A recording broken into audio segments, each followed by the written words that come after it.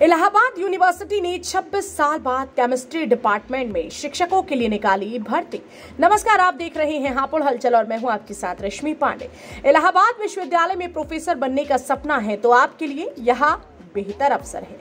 Allahabad university ने 26 साल बाद केमिस्ट्री डिपार्टमेंट में वैकेंसी निकाली है। यह वैकेंसी 42 पदों के लिए है। रसायन विभाग में इस भर्ती के लिए इंटरव्यू का आयोजन 22 से 29 जुलाई के बीच किया जाएगा। 42 पदों पर असिस्टेंट प्रोफेसर के लिए उनतीस पोस्ट, एसोसिएट प्रोफेसर के लिए आठ पोस्ट और प्रोफेसर के लिए पाँच पोस्ट शामिल है। इलाहाबाद यूनिवर्सिटी में केमिस्ट्री डिपार्टमेंट का गठन 1922 में किया गया। आपको जानकर हैरानी होगी कि यह इस यूनिवर्सिटी के चारों फैकल्टी कला, वाणिज्य, विधि और विज्ञान में सबसे बड़ा डिपार्टमेंट है।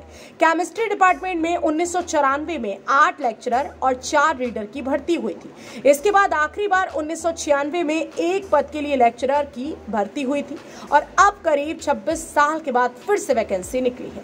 इलाहाबाद यूनिवर्सिटी की पीआरओ डॉक्टर जया कपूर का कहना है कि केमिस्ट्री डिपार्टमेंट में काफ़ी लंबे समय से टीचर की कमी है, जबकि यह, यहाँ का सबसे बड़ा और महत्वपूर्ण विभाग है। काफ़ी जद्दोजहद के बाद यह भर्ती निकल सकी है। अब इस भर्ती से कुछ स्थिति सुधरेगी। अगर आप भी यहाँ आवेदन करना चाहते हैं तो बिना समय बर्बाद किए फॉरेन यूनिवर्सिटी जाकर संबंधित फैकल्टी से संपर्क करें। इसके बाद अपना एप्लीकेशन जमा कर दें। आपको जल्द ही यूनिवर्सिटी की ओर से एक तय समय पर इंटरव्यू के लिए बुलाया जाएगा। बहरहाल इस खबर को लेकर आपका क्या कुछ कहना है कमेंट में ज़रूर बताएँ और ऐसी ही खबरों के लिए देखते रहें हापुड़ हलचल।